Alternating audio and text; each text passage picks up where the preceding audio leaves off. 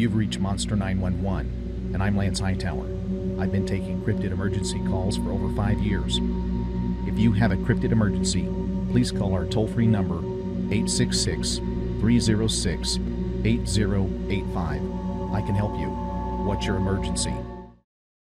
Yeah, I've listened to your shows a few times, and uh, I just I've had experiences all my life, and you know, really and truly, a lot of times you just have to sit back and put two and two together and say, "Well, damn, you know, that's what that was," you know.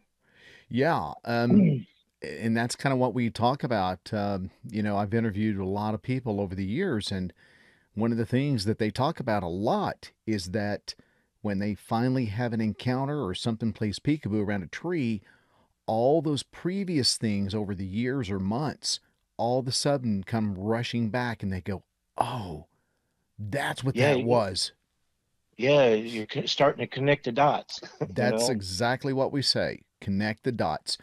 And because the mind doesn't want to, you know, we, we want to rationalize everything. We don't want to think it's one of these creatures. We don't want to think it's a this or that. We we try to go, Well, oh, it's this, you know, oh well, big deal, you know, and you let it go. well, the problem with with society today is that it's almost, you know, like everybody's living in this bubble, and the things that that would be evident, you know, self-evident to people, people just kind of like it doesn't fit into their narrative of their lives, so they brush it off and. You know, a lot of people talk about, well, if you start talking about experiences with them, that you know they laugh at you. Yeah. You know, and I've had that. I've had I've had people not laugh, but kind of, you know, they kind of look at you, kind hmm of cut their eyes at you, like you Well- know, the woo factor. You know. Well, they give you that look. yeah. They give you that Yeah. look like, are you serious? You know, Yeah, you must exactly. you're you're one of those people and what else do you believe in, you know? Yeah. Um so yeah, I mean, we've gotten that look many times by family, by friends, and they make they Yeah. they make fun of that. But Exactly. you know, we know what we know and uh, we've seen what we've seen and we've heard what we've heard. And you can't take that Well- away from anybody. And um Well- so that's kind of what we you know we we dealt with and that's kind of why we started the show some you know back in 2017 is we really kind of did it as therapy self therapy but we realized that there was a lot more people that was um behind the scenes that were ridiculed or embarrassed and you know we wanted to you know give a platform that they didn't feel that way because we had our own Yeah. experiences and um you know that's kind of the premise behind the show really and that we could help them cope a little bit because we've we've had some very strange experiences we can't explain any other way Exactly. And with me, you know, I'm an Iraq War veteran. Mm, god Uh, bless you I- god bless you thank you. Uh, I've experienced things over there that would kind of make you go, "Whoa, what what was that?" You know, they talk about the jinn over there and things like that. You know, and and that that's pretty wild over there. Some of the th- you see ghost over there. I mean, literally ghost. well maybe we can know? tap into that a little bit here during our talk just a little bit because i've heard that but no one's really spoken specifics about that Yeah. Well, you know, it's kind of like, okay, I was born in Chicago. I lived in Chicago and, and out the outlying suburbs of Chicago till I was probably about eight or nine years old. okay And my first experience, which was a UFO experience, I was just a little, I mean, I was probably seven, six or seven years old. Now in Chicago, you have different neighborhoods like Chinatown and uh, Jewtown, a tight little Italian town, you know, places Mhm. like that, which are neighborhoods. And I remember we went to Jewtown one summer. I think it was in June, and they were having their festival. Oh my, the food is so spectacular. That's one of the things I miss the most about Chicago was the food. Hmm. But I remember being a child holding my dad's hand, and you know the the neighborhood was all lit up. But I, for some reason, I looked up, straight up above the skyline, and I saw the silhouette of a black object, you know, in the dark sky, and then underneath it was light spinning. You know, your your typical UFO flying saucer. You know, and that was the first time that you know I I can recall experiencing anything you know what do you want to call it? Uh, high strangeness, I guess. And you saw it spinning. Yeah, it was like like little lights in the bottom of it rotate. The bottom was rotating, the top was stationary, and it was just moving real slowly across the skyline. Hmm. See, I, I remember seeing that. I saw when No, I I saw was- mine when I was ten. I saw rotation as well. I I Well, it was really strange. we'll get into something here in a little bit that actually blew my mind just later on in life. Sure. But have you ever heard of Wisconsin Dells? yes.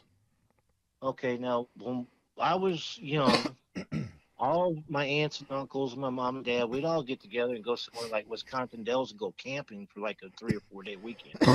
Excuse me. that was my first Bigfoot encounter. Because me and my cousin, my cousin was about the same age as me, Okay.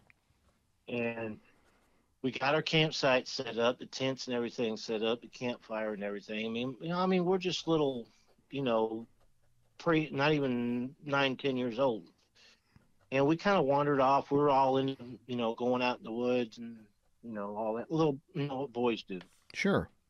and we wandered down a trail probably probably about a quarter of a mile down the trail and it was just grown up nobody around nothing we kind of just wandered off Okay.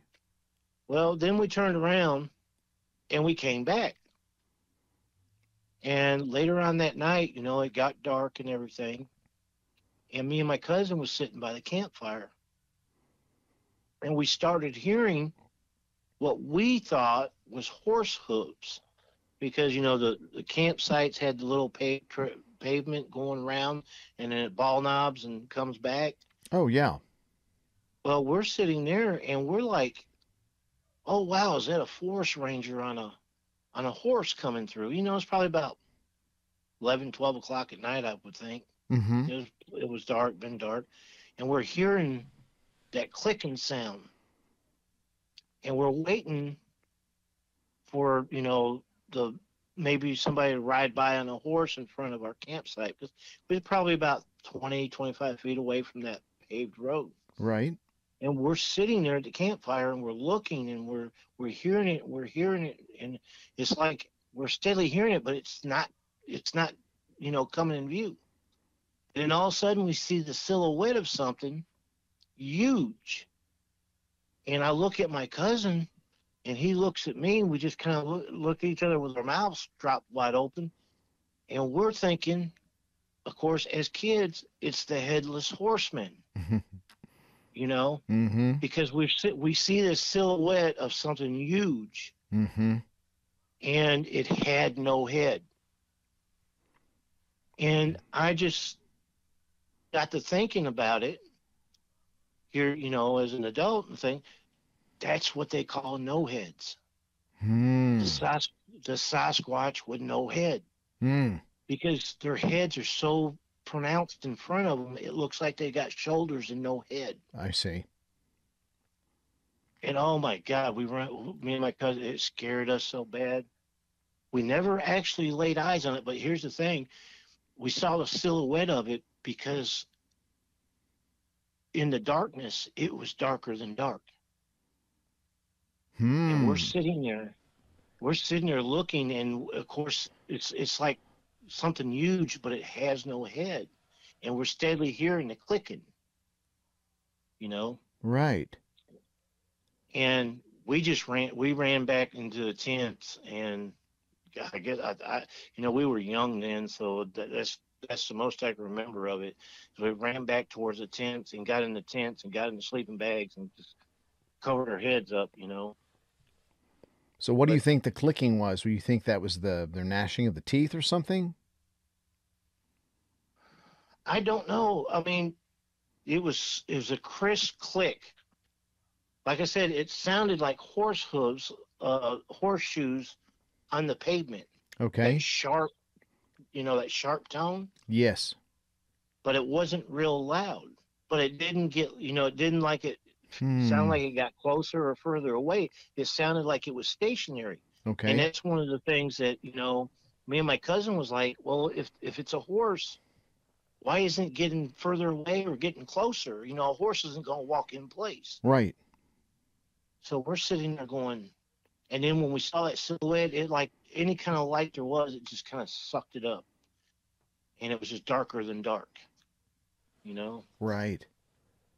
And you know, it took me a long time to realize what we saw, to realize what it was, because I mean, even as a young adult, I'm 53 now, but even as a young adult, I would think back on that. I'm like,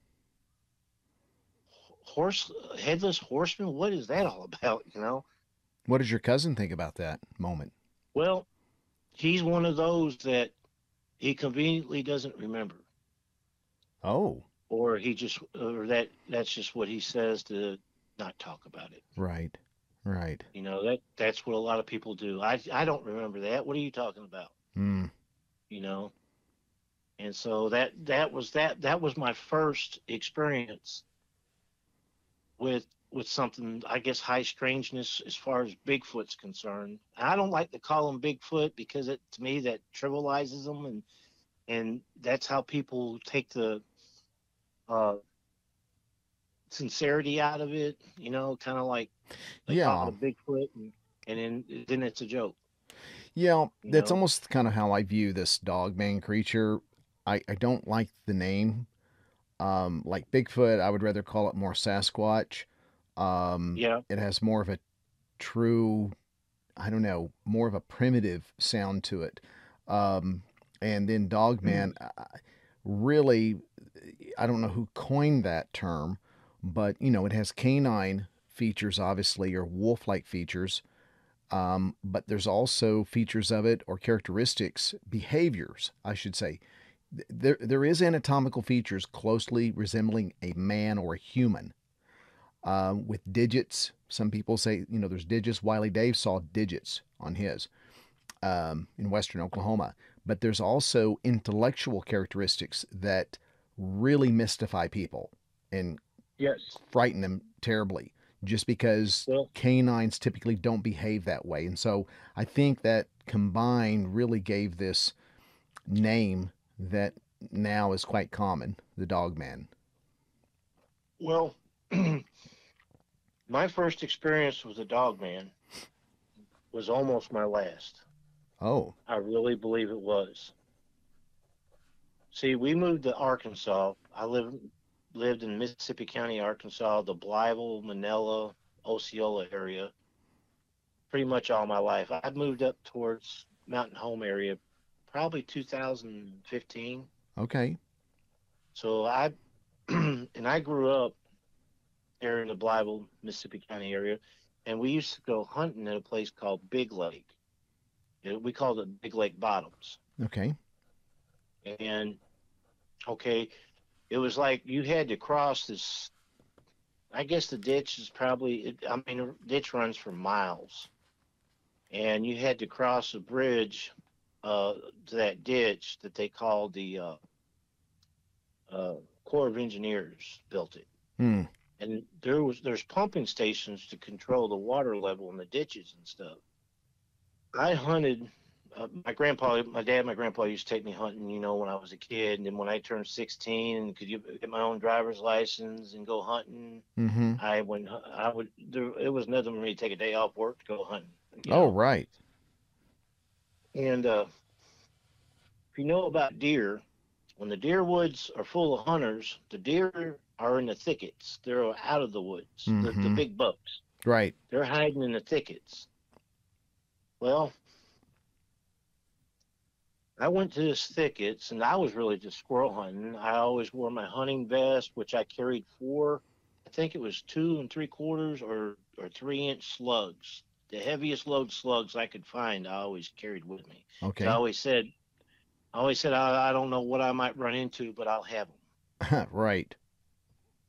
You Good know? to have. Good to have. But in, anyways, I went in, went to this thickets, and I, I I'm basically squirrel or rabbit hunting. You know, mm-hmm. I think bow season was open, but gun season wasn't.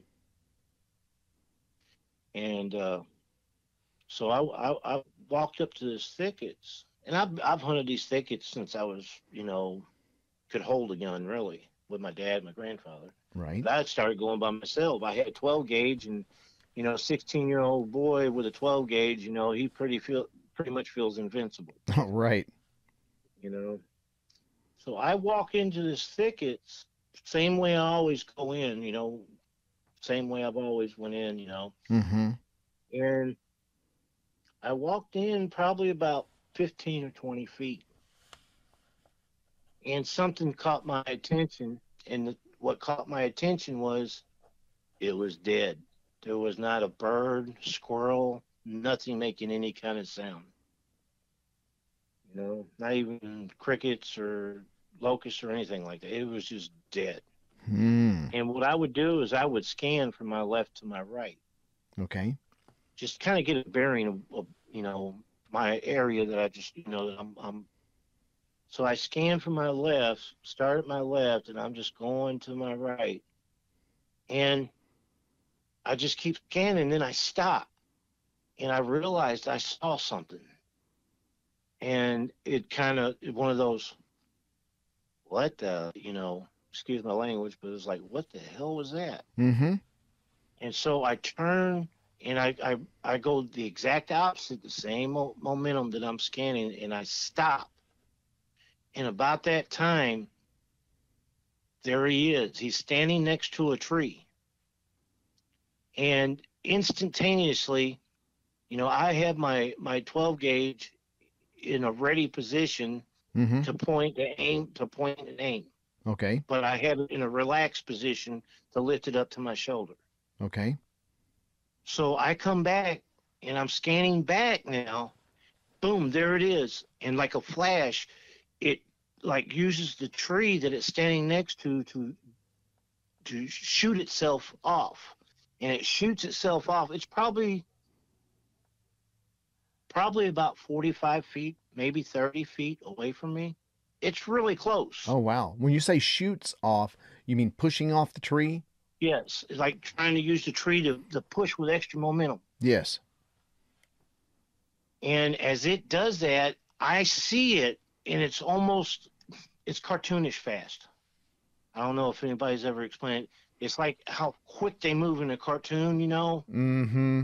And here it comes at me, and I'm barely up. I'm raising. I don't know what the hell I got coming at me. So I raised my because I saw what I did is I saw a silhouette of a head with ears like a dog. Okay. Only thing is, it didn't look like a wolf. It didn't look like a German Shepherd. To be honest with you, it had more of a pit bull head, Oh. Okay. kind of like a pit bull, and it's coming at me now. I mean, I'm I'm I'm raising my 12 gauge up because I'm like, well, all I got's squirrel shot in my gun. I'm not going to do nothing but piss it off. Mm-hmm. But as it comes at me and I raise my gun up, I'm not even aiming, you know, squinting my eye and aiming at it. I just raise it up because I'm like, by the time I pull his trigger, he's going to be on me. Oh wow. And and so as as I get the gun up to shoulder level and leveled off, he does like a veer, almost like a U. And instead of coming at me, he starts veering off in a U away from me. Hmm. and then and then as i as he gets okay to the edge of the thickets because i'm i'm, I'm kind of just just stepped into the thickets there in like a corner of it and he gets to the edge to it he stops and he just stops instantaneously and looks at me and he doesn't look at me like he he wants to eat me he doesn't look at me like he's disgusted with me he looked at me like yeah you're lucky this time you're real lucky. And then he takes off. Hmm. Now, how And close I'm was sitting there. how close was he when he stopped? Well, he, he he got probably within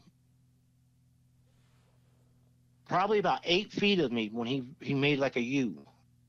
Oh wow. I think what he done is he realized that I had a boomstick, mm-hmm. and when I got it to where he can actually tell that I've got it, Right.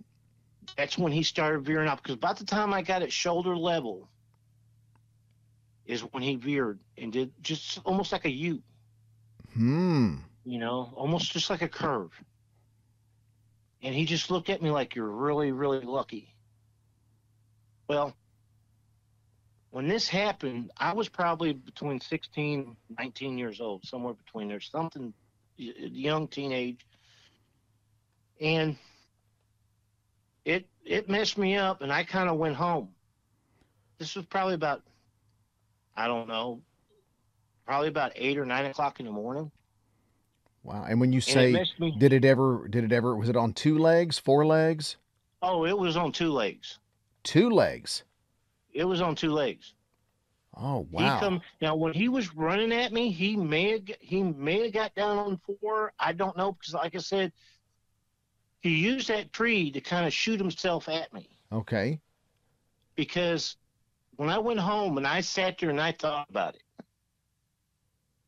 I I sat there and yeah, I'm I'm shaking up and stuff and and it, be honest with you, I wasn't. I was startled. I was basically trying to figure out what that was. Mm-hmm. and that that curiosity got me because I ended up instead of having four slugs in my vest, I brought two boxes of slugs with me, and I went back later on that evening, and I'm trying to the place where this happened at, where he was actually standing at, because uh, to be honest with you, I was starting to wonder if it actually happened. Hmm. But Kind I of a went surreal. back. I went back, and I went to the tree I first saw him at. Right. and there's four claw marks where he used his claws to push himself towards me. Hmm. That Now- told me that that happened. I had, Hmm. shouldn't be right. questioning that it happened because it happened. So when you say f- there was four, is that what you said? Yes, four claw marks. Just like he had his, I guess he had fingers Okay. and and pushed just like just like you're swimming in the water and you're you're pushing, but you got your your hand next to something, you push yourself off it real fast, Right. Kind of get you that extra momentum. Mm-hmm. That that that's what I experienced. So And it was by itself. was- It was by itself, as far as you're aware of. Well, I didn't go at that that particular time when that happened. I collected myself the best I could, and I I don't know if I shook and walked or walked and shook, but I I went back to my car and and got in my car and left. I don't even think I unloaded my 12 gauge. I had a single shot 12 gauge. Okay. I don't even think I unloaded it, and it just had squirrel shot. If I would have hit him with squirrel shot, he'd probably be eating on me. You know, he would have done ate me up. So can you describe a little bit of the characteristics of it? I mean, you said it looked kind of like a pit bull, I believe you said. Okay, this happened back in, I would say, the late '80s to early '90s, somewhere around that area. There's a movie that came out way back then. I just watched it. Matter of fact, uh, uh, last, I guess last November, Okay. and it was a it was a movie called Fright Night. I remember hearing that. Okay, now it's the original one that came out. I think they've had a remake of it, but the original one that came out. And if you watch it, and at the end of the movie, where they're at the vampire's house and they're inside the basement trying to stake him, kill him, or whatever, Mm-hmm. it turns into a bat, like a monstrous, huge, monstrous bat. Okay. And if you if you watch that and look at that bat, the head on that bat, I say is almost identical to what I saw. It's the only thing that I can compare it to that I've that I've seen that I can compare it to because it it it basically looked like a pit bull that was having a really bad day. You know. It was monstrous. The the head was monstrous. But like I said, it it more shocked me and startled me than scared. I mean, going back and thinking about it, especially when I Mhm. went back and saw the marks on the tree, yeah, that I was scared then. Matter of fact, throughout all the experiences I've I ha- I've had, I do live I live uh, in Arkansas, Okay. and my backyard is Corps land all the way to the lake and all the way around. And there's Mm. all kinds of stuff that goes on out here. Oh yeah. But I just I I've got a balcony that I sit on, and I I've got my back porch gated up where you know I'm off the ground, and I you know I, I'm looking at I don't ever I haven't been hunting in years. Okay. You know, I don't know if that's part of it. I think it, it contributes to it. About me not going to the, I'm not scared to go into the woods, Mm-hmm. But I, I think between these experiences in Iraq, I just hunting just isn't. I, I can track, I can hunt, but I just don't have the ambition to, Sure. you know. And I don't know if that's that that plays a part in it or not. It does. I guess it does to a certain extent. I would say so. but uh that was my first dogman encounter Wow. and That's pretty terrifying. Um, something coming at you like that. well i didn't have a chance to be scared or terrified Yeah, it happened so quick. yeah because you know like i said i was scanning my area looking because i've always said when you go you know especially squirrel hunting you know if a squirrel hears you you'll never see him and if a squirrel sees you you'll never even hear him you know Mm-hmm. so you know you i'm always scanning in the forest looking for squirrels and of course my father taught taught me how to spot a bedded up rabbit you know just bedded up in the weeds sitting there Mm-hmm. you know So this So I- when this dog man came at you, tell me about the size of this thing. he was he wasn't huge he was probably he may have been six foot got the pit bull head Okay. the it looked like the reason why I compared compared the head to the the movie is because it wasn't like a normal pit bull, you know, with the fur Yeah. and stuff. It was almost skin toned, but it was it's monstrous, is what it was. So it was definitely so large that you it was it was notably different.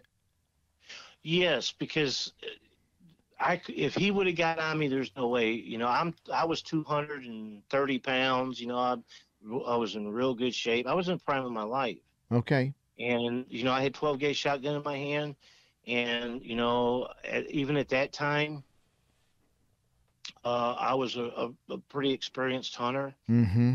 and I know I knew then, just like I know now, if he would if he would have got a jump on me, if he would have just if I wouldn't have seen him and he would have got a jump, there's no way I, I would have even been able to do anything. I'd just been lunch to him or breakfast. Well, that's what I was going to ask next. What if you would have had your back turned to it? There's no way. There, there, there's no way. And you know, most predators they wait for that opportunity. And They that may have do. been what he was doing. They they, they do. I know uh, mountain lions attack from the back and they bite their their prey right on the neck of that central nervous system, and you can't escape. Yes, yes. Or they a, a big cat will bite your, you know, take a bite out of your skull. You know. Oh, yeah. your skull. Yep. You know. But uh, you know that's that's what scares you is because when you realize that this happened to you and if they would have been able to Hmm. get get you you know get behind you you would never stood a chance and as fast as he was and that was on two feet but of course like i said he like pushed himself off a tree and right on top of me And so you didn't You know, know? what this was. i had no clue Th- this is back in the 80s i never even heard of a dog man Yeah. So you know i you know i had two choices of what it could be a monster or an alien that in my mind that was all there was there was no you know never heard of a dog man sure. So it was either a monster, or an alien, and I, if it was either, it would have been both. You know, So a did monstrous alien. did you um so you told your family or you told someone when you got back to the house? Uh, let me think here. I told my, I think I told my girlfriend, Okay. and of course it was kind of like, yeah, okay, okay, well, you know, what's going on TV? You know, something like that. You know, it's it's kind of like, you know, okay, that happened to you, okay, and meantime, I'm watching all my children or something, you know, Right. and you're kind of like, well, okay, it's I was just curious So- if you shared with a family member and then they have had experiences too or anything like that. No. Uh, my dad was my, now. My dad told he's a he was a Vietnam veteran. He passed in 2017, I believe. And he used to tell stories about Bigfoot over in Vietnam. Hmm. And he, I remember he he would he and he didn't care if you believed him or not. He'd tell you, I'm gonna tell you right now.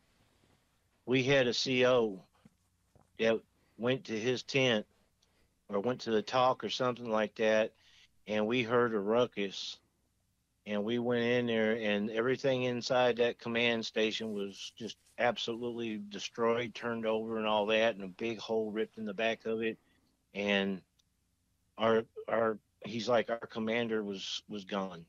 He was he was in pieces. He was in pieces? Yeah, he said that they found pieces of him all behind the, behind the tent where the it was ripped open. That you know you walk out. I think he Dang. said 15, 20 feet, and he, you find an arm or a leg or something. so the thing just ripped him to pieces. What did I mean, did someone see this occur or did they just have seen a creature like and they said it must be that? Well, they heard it. Oh, they did. they, they heard everything and it was inside the tent and the co just left their presence and went into the tent and i guess walked in on it Oh, dang. and it just for lack of better terms went ape shit on them tore them to pieces you know that that's what my dad would tell me about you know Yeah. that happened in vietnam so he he didn't talk a whole lot about it Right? but every now and then, you know, like something would come on about Bigfoot back then, and he would, you know, back when I was younger, and he'd he'd say, "Well, this is what happened. I know they're real over in Vietnam. I don't know about here, but in Vietnam, they, you know, this is what happened to RCO." Yeah, I've had a couple uh, interviews with um, Vietnam vets, and they talk about they they call them rock apes, Exactly. Yeah. and but they were big, and they would be in the trees looking at them, just throwing rocks and anything else, but they were big. They they looked very very humanistic. They were much bigger than any ape. And my dad told me when they saw them, because at other times they would see them, they would actually throw rocks at them. you know, he said that they would move in almost a jerky motion. You know, that they Hmm. didn't move fluidly like we do, that they would move in a jerky motion. You Interesting. know, Hmm. so that that's what he told me. What did he compare it to? A mole or a weevil or something like that? Okay. that the way that they would move you know it's like if they rose their hand up it, it, it would be like a shaking going up and a shaking going down or if they walked it, it would be like a jerking motion Hmm. you know so Interesting. that's what he told me Okay. okay my second encounter okay i told you you know this big lake bottoms. It's basically a it's not a reserve but a, a animal pres- preserve i guess. Mhm. something to that. You could go hunting there. That you only they only gave so many tags to be hunted there. Okay. you know and the deer in mississippi county is so bad. I mean i lived there almost all my life and i i can tell you i've seen deer there maybe maybe four times my entire life it's like they hunted the bottoms out and i think at one time they were trying to reintroduce some more deer to the area Okay. and they were bringing them in. But anyways, I was squirrel hunting, and I I went probably about probably about a mile and a half, two miles back up in the woods Okay. down a trail. You know, they have hunting trails where you can just, you know, God, I think you, if if you look on the map, Big Lake Bottoms will start there around the Manila area, and I think I think they'll come out somewhere around the Kennett, Missouri area. So there's there's a lot of miles of bottoms there. Oh yeah. Yeah, yeah, yeah. But anyways, I went in and I was squirrel hunting, and like I said, I was I, I was what it was. I have a friend. I had a friend back then that he had an aunt or a grandmother, and uh, they he would tell me to bring them all the squirrel and rabbit I can kill because she'll take them and make tamales out of them. Oh, You know, and you know they they, they were they were good. You know, I'm sure. I've had them a few times, but they they they kind of lived off stuff like that, making tamales out of them and stuff like that. Sounds good. And so I would go squirrel hunting, and I'd always kill, you know, my limit just about every time. Mm-hmm. I went way back up, about a mile and a half. Well, it's not really that far back up in there. And I'm squirrel hunting, and I've got my my slugs in my vest. You know, right there in my shoulder, those four host little holsters there for your slugs there. Yep. Right up on your shoulder. And of course, I've got like that time I probably had three or four squirrel in my, you know, my pouch.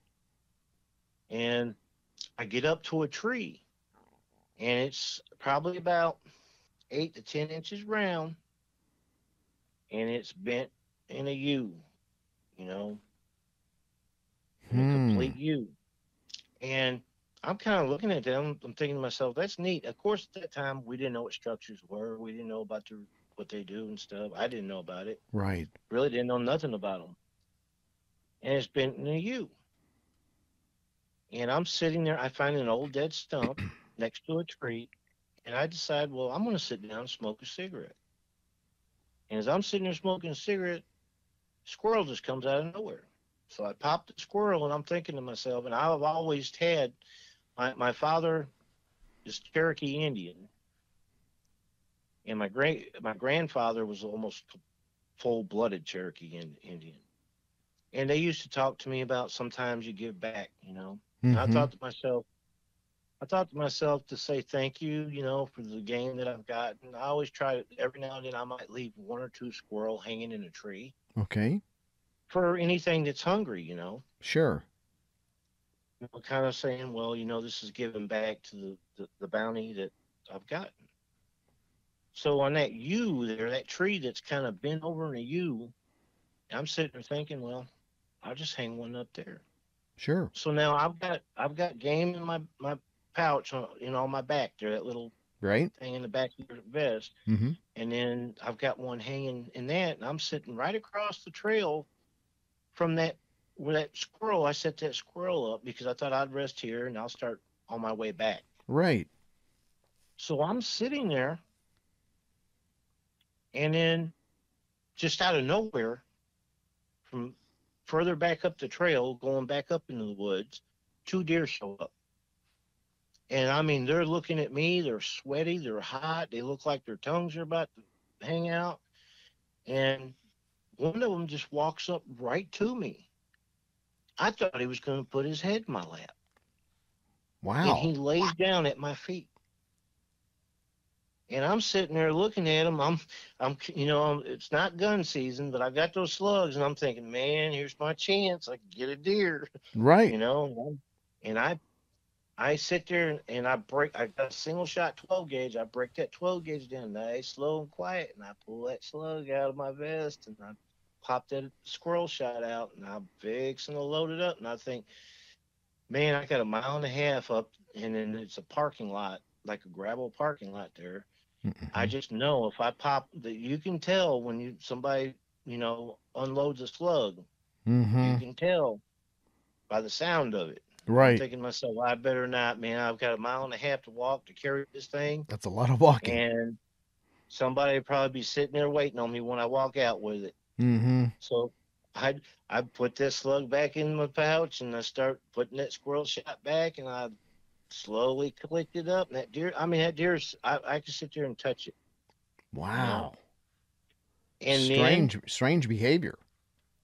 and then it sounded like a bulldozer over my right shoulder back up. I mean, this is where it's really thick at. This is where the woods, like all types of thorn bushes and stuff. I mean, thick.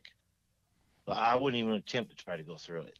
Okay. And something, something come running up. I mean, and it, it sounded like somebody just had a bulldozer doing 30 mile an hour through those woods. And then all of a sudden, before I could see, because I'm sitting there wondering what's coming at me Right. and the deer's not running.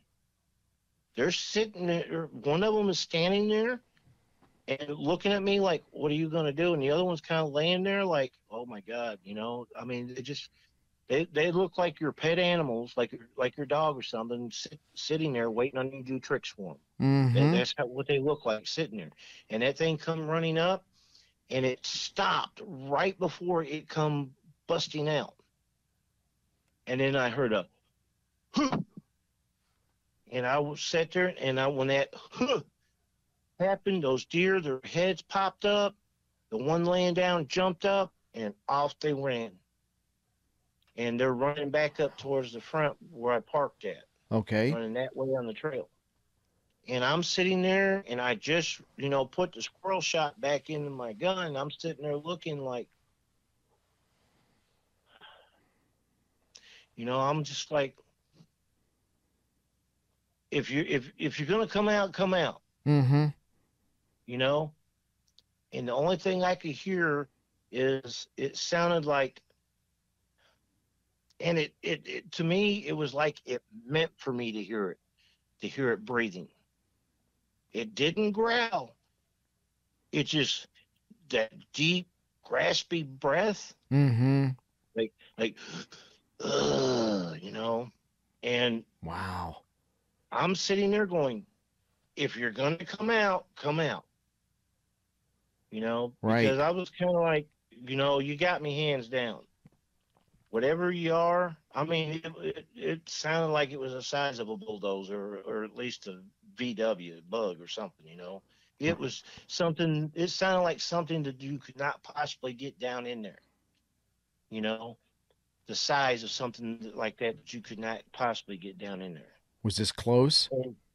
it, it was probably 20 feet away and then Oh. probably an extra five feet of thickets just so thick you couldn't see it was like a wall Okay. every kind of poison ivy poison oak and thorns and all that there you, Mhm. you could not see through it but it's it's like it stopped right there matter of fact when it stopped right there hmm i could see it move i could see the the the thickets moving Okay. you know and i knew something was right there Right. And I'm thinking, there's no way that's a bug. There's no way that's a hog. You know? Right. And at that time, I didn't know what it was. It's one of those connect the dot moments because at that time, I didn't, you know, really wasn't no internet or nothing like that. It was just getting really off the ground and you wasn't hearing Right. a whole lot of it. And I was sitting there going, if you're going to come out, come out. Yeah. And it never Yeah, did. it was like it, it just said it, just went dead. Okay. And and those Wow. deer look like I mean, they the deer probably weren't a hundred pounds apiece. I'd figure them probably about seventy to eighty pounds at the most. Hmm. Just little deer. But they came up to me like they were my pets. You know? It seems like And when like deer said- have strange behavior like that, I, I've I remember hearing accounts on some other kind of semi documentaries regarding hunters and where deer have done that, where the deer have had to smell the hunter, or uh, and, and or they'll just get right by the the the uh, tree stand, or right at the Uh-huh. feet of the hunter, and they're like, Yep. "What's going on?" And then of course the deer is just sticky sweaty. You could see that Yeah. the hair is all matted, and they're the deer Yep. really kind of foam at the mouth from running. Yep. Hmm. Bizarre, bizarre.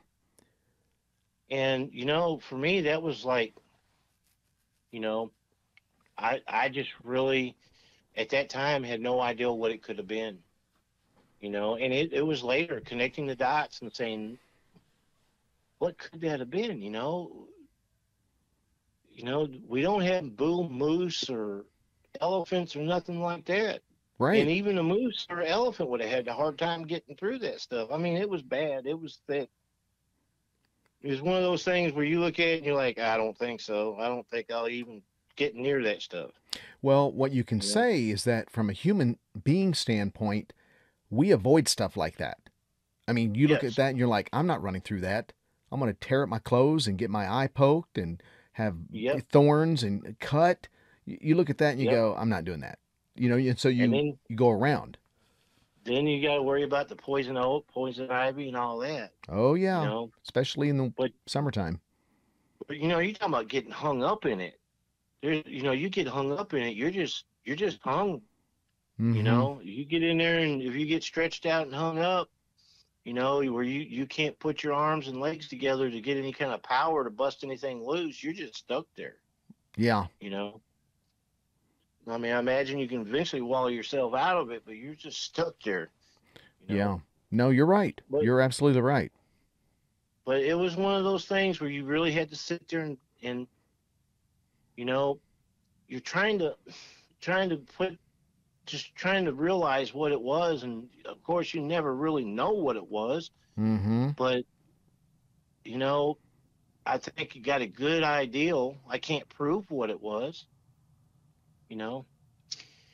And then uh, i had another encounter in the thickets and there's thickets all along. There's a place there outside of Blytheville Mm. and it's just just an old, old time community uh, you know of old houses and stuff. Matter of fact my grandparents lived out there. Oh you know, wow. way back way back in the you know i think 60s and 70s Okay. you know i think even in the 80s they lived there. And my granddaddy used to you know when i was a kid used to always talk about the boogers are going to get you. Oh, we did. yeah. And i'm Mm. like the boogers i mean the booger man? No the boogers. So because when you know like if they would babysit babysit me you know it's like after dark you did not go outside. They would lock the doors up and you didn't go outside. And they would talk about the boogers getting you. Hmm. Yeah, that was the older. That was the, that was the older term around. Um, I, I say the South, but at least in Oklahoma, and it sounds like Arkansas and many places. I- I'm sure other states, but Oklahoma for sure. Before it was Bigfoot, they called them boogers. yeah That was just a real common. Now there may have been, there may have been other names like El Reno, Oklahoma. I guess they had a period where there was chickens being stolen by a Bigfoot, a Sasquatch, but they called it the uh, Chicken Man or something around the Yep. Chicken Ape, something around those lines. So I'm sure it went by different names depending on what it stole, what livestock, what animals, or whatever it was seen doing. yeah I'm sure that's what they gave it the name of. and the creativity of the person that witnessed it Yes. So I'm I'm sure uh, who knows how many different names over over you know earlier Yeah. periods what what they were called. Yep. We see there's another set of thickets that I went to, but they all run along that ditch. And then you cross that ditch, you know, it was probably about 60 foot wide. It probably wasn't no more than 8 to 12 foot deep at the most. Okay. But what they would do in duck season, they would use that water and they would flood the woods for duck hunting, Mm. you know. And so we call it the bottoms because they would flood, you know, the- especially, you know, in late winter or, or, or late fall, we'd get a lot of rain, Mm-hmm. you know. And so they would flood that and they would duck hunt out there. Duck hunters would have a field day out there. Well, I'm sure. So along that ditch there, on this side of the ditch, you know, you would have, you know, I think they grew uh, cotton and soybeans was the was the crops, and there would be spots. I guess it, it could be old homestead spots where they just let it grow up around it, eventually fall down and just be another thicket of woods and stuff. Yeah, possibly. But I mean, there's all along that ditch. There's little, you know. I mean, they're not very big thickets at all. But I learned that's where if you want to kill a deer, especially during deer season, Mm-hmm. hit those thickets. That's where the big bucks are at. Mm, right, right. So I went down this other gravel road off Half Moon, and it run along a ditch. It run back there toward the towards those ditches Okay. or towards that big ditch. And it's probably about probably about three miles back. You take a gravel road and it runs along the side of a small ditch, and then it dead ends at this little old time wooden bridge across another little ditch. You know, Mm-hmm. and so you never that's where the gravel ended right there's at the at that bridge that's where you'd park Okay. and then you'd you'd park there and to the left about a mile and a half you'd have to walk down this little dirt road along the southern ditch Okay. and that that would be the tractor road you know where they get the tractors up in there and you know do the fields and the Right, right. and stuff like that. So they already they already cut the beans, and I'm going walking down this ditch down there, and I get to the edge of the thickets, and the edge of the thickets is high grass, weeds, uh, thorn bushes, and stuff like that. And as I walk, I'm I'm looking at this this grass. It's like almost like a grassy, weeded bushes and stuff. Okay. And then you got the you got the trees and the woods. Okay. Right, right. But you have to cross through that tall tall grass to get to the to the actual wood part of the thicket, Right. the woods part of the thicket. And I'm there. I'm I'm like, well, okay, I'm after rabbit today. So I thought, well, I'll walk around to the side, other side of the thickets where I don't have to walk through all that high grass. But then I stopped and I thought, well, hey, I just kind of kick some of this grass around, see if I can jump a rabbit.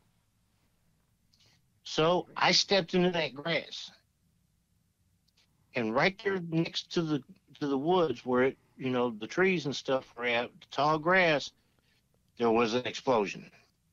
This is the only way I can define it. This is an explosion. A deer, the size. Oh my God! I I, I don't. I think it was until at till that time that was the biggest deer I ever seen. He's probably 300 pounds. Oh wow. Huge rat. He jumps up and he cuts to the right and runs out into the bean field, which has already been cut. There's nothing but stalks out there. Okay. And so he's running across the bean field and well, I didn't actually see him run. He he just ran that direction. And then at the same time, something the size if you ever seen Mighty Joe Young, Yeah, yeah. some, something the size of that run through the turn around and ran through the woods, the, the thickets. Uh, Where'd it come Well, out this- of? He was. He, it's like the deer was bedded up in that tall grass. Right. and he was right behind it. Oh, I guess the only thing I can assume was that he's fixing to kill a deer. right. He was like stalking it. Yeah, it was like he was there waiting to jump him. And I just come up at the exact right time, kicked that grass, that deer jumped up, and was it shot to the right, that other one, like, I'm facing directly at it. It it turned, all I saw was the ass, excuse my language, That's okay. and the back of his head and the size of his shoulders. And if you ever seen the movie Mighty Joe Young, Yes. that's about the size it was. And I'm like, oh my God, what in, you know, That's I huge. actually fell backwards and landed on my butt. That's huge. It was so big and it had that conical head. And Oh. the reason why I saw it conical head is because it's like at the very top of his head, Mm-hmm. his hair. It, you ever seen the little rascals in Alfalfa? Yes. It, it reminded me of that. Of course, at that time, I wasn't thinking that. It was Kind of like I- a little mohawk. Well, it's just like a little, little twisted strand of hair sticking up Okay. off the top of his head, Okay. and it was on on a point. Oh, okay. know? And like I said, all that commotion, I fell backwards. I was on my butt. and I'm just sitting there looking and was like, "Oh my God, what what just happened?" So the deer ran, and then sh- right after the right he shot to the right. Then right after that, something else at the came same time. at the same At time. At the same time as it was shooting to the right, something else was running away from me. It's like I was directly facing its rear end in the back of its head. Wow. Did it ever turn around? No. And when he got in those woods, he was gone, disappeared. Did it create a lot of commotion going through those woods? I would say probably for a few seconds, uh, probably 20 seconds is all I heard. Okay. Because I remember sitting there on my butt right as soon as, like I said, it shot me so bad I fell backwards. Yeah, I'm sure. Because what it was, I stepped in the tall grass, and as all this commotion happened, I went to step backwards and tripped and fell. Oh, wow. And as I'm sitting there on my butt, I'm kind of looking upwards, and I see that conical head, and I see the little bit of hair sticking up like an alfalfa, you know, on the little rascals. And uh, it took me after going back and thinking about it, and Mhm. re- seeing it in my mind, Mm-hmm. that I saw that. I didn't see a face. All I saw was his butt and his back and how wide his shoulders were. And then I'm thinking, I sat there and thought about it. How did that thing run straight through those trees? Because it was a thicket. There's trees so so encumbered there. How did it run through there? How did it? You know, there's might be trees where I had to turn sideways and step through them. But this thing, either it just ran them down, Yeah. which I didn't see a path. Well, then I didn't go looking for a path either. I called it a day when that happened. Well, we've talked to my brothers and I. We had a conversation. A couple. It's been about a month. We talked about this, maybe two months, and I think a conversation like this came up because there was a couple of uh, guests that I was talking to that we spoke just the same conversation, and the only thing that we can figure is that there is it's a combination of the their skin is so much more tougher than ours. Just I don't want to say it's like rhino hide because I don't know, but I'm trying to give a an analogy or a comparison to a really tough leathery hide. And you know what? A little bit of a deviation here, but we'll still stay on track. I promise. Is that um, I knew this young lady, her and her sister, uh, they really had a heart from the homeless. And they would go out and buy all these like uh, Chick fil A meals and pizza and all these uh, uh, really scrumptious foods. And they would go out to the homeless in the community of Tulsa and they would uh, go to certain places and they knew where certain people uh, actually set their tent or their little structure where they lived. And they would describe to me uh, the leathery appearance of their skin, just a very weathered, Yeah. leathery type of texture to the skin, and it's it's weathered. They they're out in the in the elements, cold, heat, wind, all that.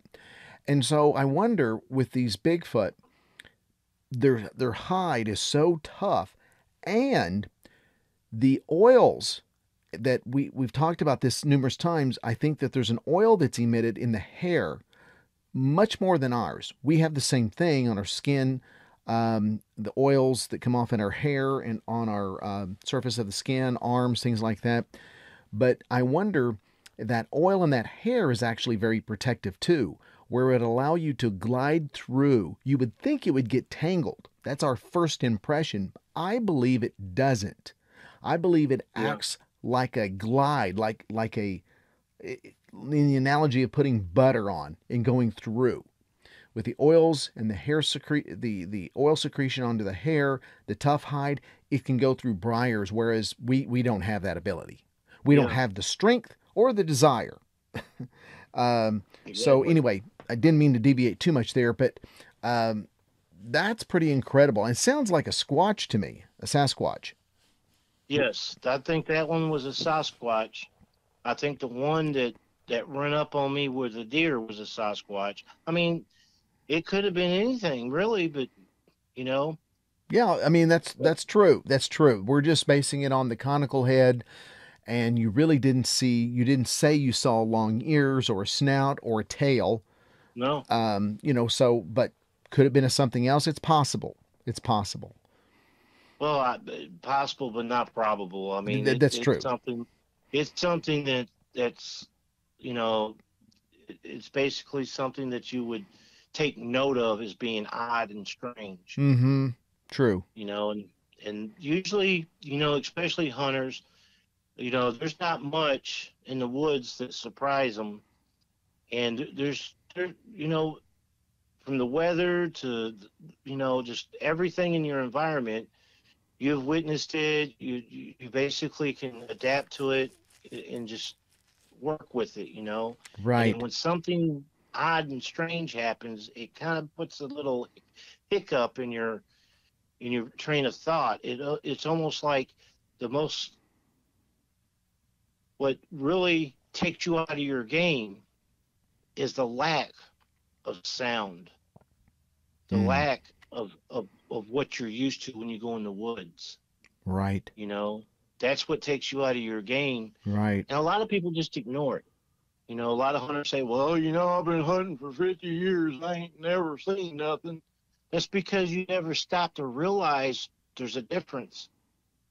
There's a difference in in this and that Mm-hmm. and a lot of people just ignore it because you know they're like, well, I got a hunt, and I'm gonna go t- turn up some disc, disc up some rows here, so I'm gonna get my hunt hunt on, and I'm gonna get going. So I ain't got time to pay attention to anything that's odd or strange.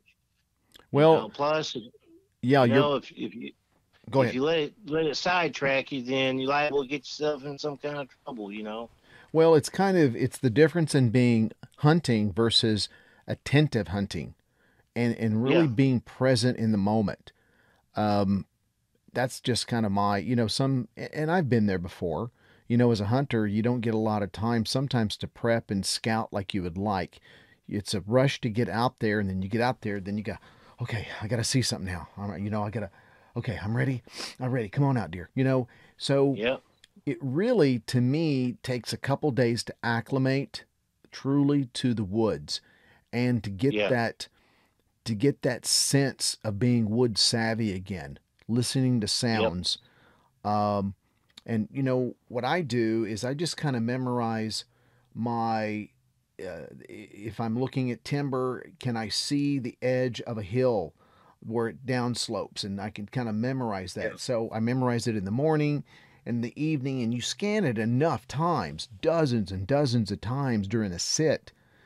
Um, i don't stalk hunt. That's just the way i do it so i have plenty of time to scan the woods and that's how i see things like wait a minute that wasn't there before what's that silhouette you know and Yeah. i'm scanning exactly. and then, then i just stop and i freeze and i'm just my eyes are totally focused on that and see if it moves and i just keep looking so that's kind of the way we should all if you're investigating or stalking you know walking you, you just don't want to walk you want to go slowly and then stop Yeah. listen look slowly around and you'll see a lot more of course um, Yeah. but that's like me when I would go squirrel hunting, especially get up in the morning and go squirrel hunting. I'd ask myself, if I was a squirrel that ate nuts all day, what's the first thing I'd want in the morning? right Which would a drink of water. of course So what I would do is I'd go find a ditch, whether it could be a big ditch or, or small ditch in the middle of the woods, and then I would look for a tree, a dead tree that's down. And I would get on that dead tree and I would sit at one end and I would just sit there and scan and looking for squirrels. And I would usually that method I usually killed my limit every time I went. You know? And uh, I remember one time I'm sitting on this dead tree. I would go one end of the tree and I might hunt it, just sit there and hunt it and kill five or six squirrel.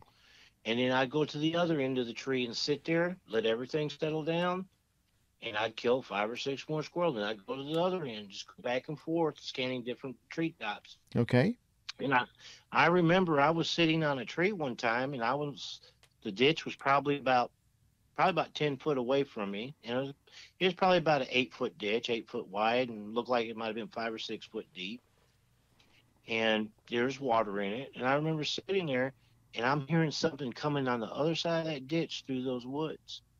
And it's just making all kinds of ruckus and noise. And I'm like, oh my God, this thing must be pretty confident and sure that he's not going to get, you know, that there's not a predator here that's going to bother him. Mm-hmm. You know what I mean? Right. And I I remember as it's getting closer, I'm thinking I'm it's fixing to reveal itself any time now. So I'm sitting there in my 12 gauge and I'm looking. I've got my 12 gauge pointed probably about four foot off the ground, thinking I'm fixing to see something. Mm-hmm. And as it come out, got closer and closer and closer. I'm lowering the point of my my 12 gauge down. Finally, it was it was probably about a three pound squirrel, and it was just making all kinds of ruckus. Yeah. You know. And Yeah, I'm I hate that myself, sometimes. I hate that sometimes know? when a squirrel sounds like something on all fours. yeah. Well, that's that's like out here where I live at right now. You know, I've got Corps land all the way down to the lake, and I hear stuff in those woods all the time. And between it, squirrels, they have they don't have a care in the world. But if there's something in those woods that's got those squirrels worried, they'll Oh, get up yeah. in those trees and they'll bark, Oh yeah, they start. and they're gonna let you know when there's a predator around. Oh yeah, and they just continue and continue and continue.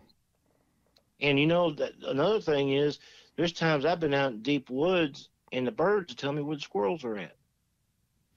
I can see You that. know? I can see that. The the birds will get get next to like a, a crow or something will get next to where the squirrel's at and just start crowing away, and get your attention. You look up there, and if you just keep watching, that crow will eventually fly away. And if you just keep watching, you'll see a squirrel. Hmm. You know, they'll tell on you. Yeah, but uh, let me think here. My my next Bigfoot or Sasquatch encounter. Okay, there is. Okay, there's a time I was married, me and my wife. This was probably about 2013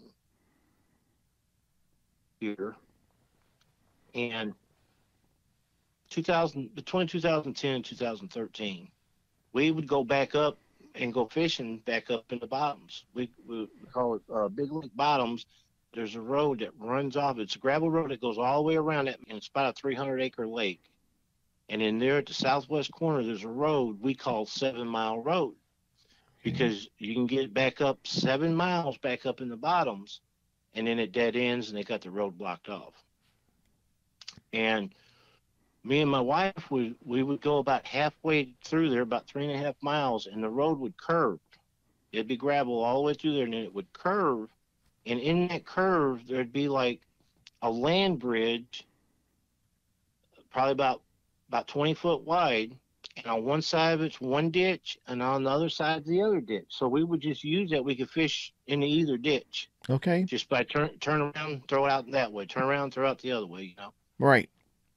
Well, we're back up in there, and I've got I've got two or three poles, and she's got two poles, and we got our lawn chairs, our cooler, tackle boxes, a little bit of snacks, you know. May I may even have radio going. I don't, if we did, it wasn't very loud because I don't like loud music in the woods. I, you know, but just mm-hmm. relaxing, trying to enjoy a Sunday, you know. Sure.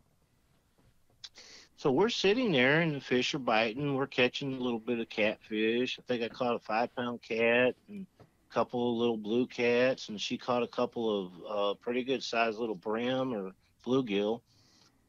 And all of a sudden, about five foot in the water from the bank, we're hearing boom, plume, plume, plume.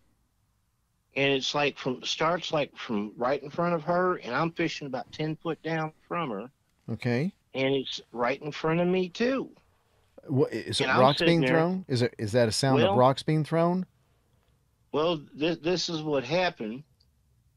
Is I thought it was a jumping carp. Hmm. That's what I I figured. That's what it was. You couldn't see them, but you you hear bloom bloom just oh, some, something hitting the water. Okay. So I'm thinking it's a jumping carp, but I, my wife's sitting down there and she's kind of, you know, she's not, she's a country girl, but she's not. And I look at her and I'm like, you see all this? Yeah, I see it. I said, you know what that is? And she said, I'm thinking in my mind it's jumping carp, but I'm Mhm. going to mess with her. Yeah. Something's throwing rocks at us. Now I'm thinking I'm going to, you know, get her, get her going. Right.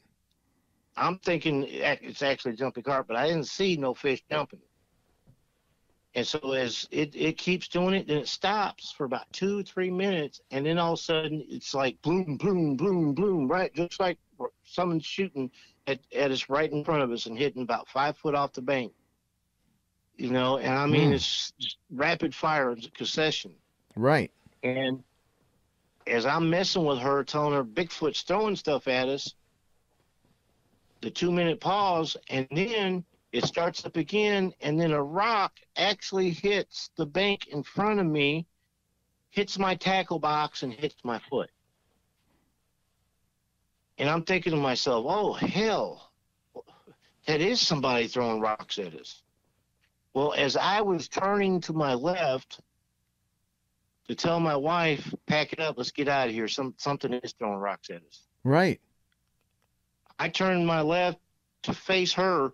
She's got everything. Uh, her fishing poles didn't take the bait off, the hooks. Just, she's just got everything wadded up underneath her arms, and she's sprinting to the truck.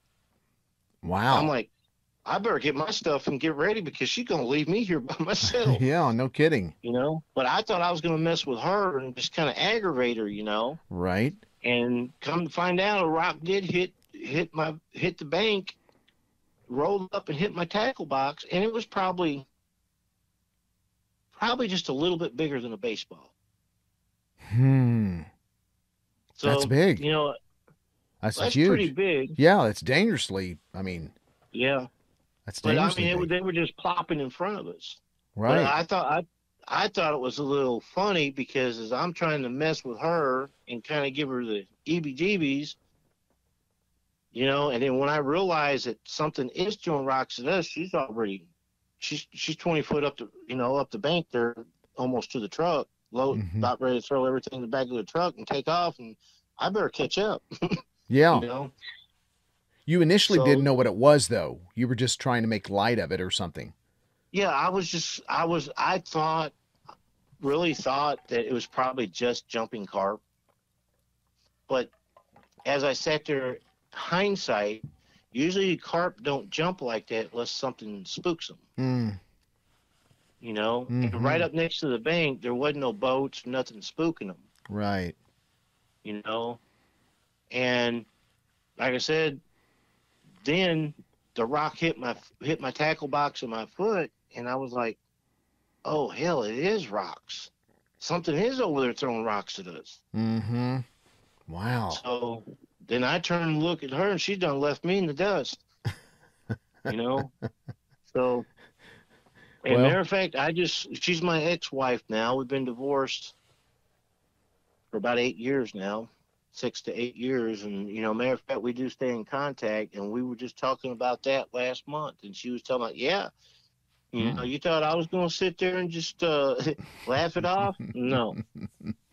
So yeah. either you was going to be, either you going to get get behind me and be gone, or I was going to leave you there. Yeah. You well, know? when people are afraid, you know, you're just trying to, you know, have self preservation. You know, um, move it or lose it. Let's go. You yep. know, so especially when something like that in your out really in remote areas. What would be throwing something at you? All you can say is that something has an opposing thumb, because deer they don't throw rock, bears don't throw rock. You know, any waterfowl they don't throw rocks. You know, it has to be something with an opposing thumb to grasp and throw. So exactly. it can be a man or squatch, dogman, or any other type of cryptid or whatever something to that okay. nature. Yeah, exactly. It's something with something that's that's wanting to get your attention in one way or another. Yes. You know. Yes. They're wanting to make their presence known. Yes, you're too close. I'm going to let you know you're too close, or just to pester. Who knows? Who knows? Yep. We can just kind of speculate. Yep. Now there was a time and this is what I'm talking about. You know, people say that they're marked or feel like they're marked, that they have these experiences. Mm-hmm. You know, they're.